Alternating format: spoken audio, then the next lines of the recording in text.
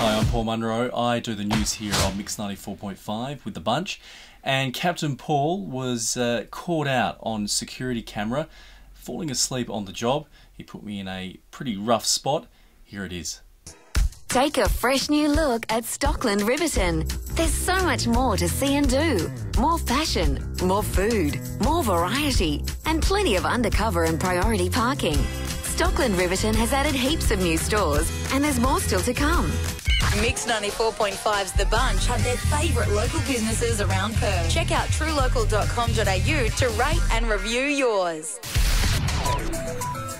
Hello, Paul Munro with what's making news. So you think remains today's clear favourite for the Melbourne Cup.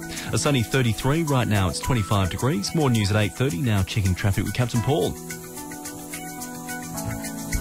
Uh, Paul is Hello, on Captain another Paul. wavelength at the moment. Actually, I just looked across. His head was down.